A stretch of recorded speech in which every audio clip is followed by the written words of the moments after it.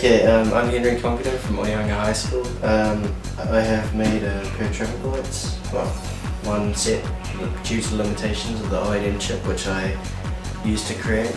Um, it works by first activating the power, the sequence starts running, first the red lights for, for the pedestrian crossing and the red lights for the road. It soon goes through the cycle, see it's green now.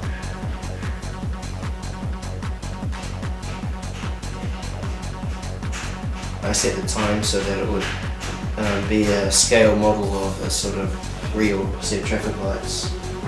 So it's orange now. Due to the 08M chip, um, I wasn't able to have the button as a just push, a tap, and you can release. So I had to hold it, and now the pedestrian crossing is activated. Goes for a certain amount of time,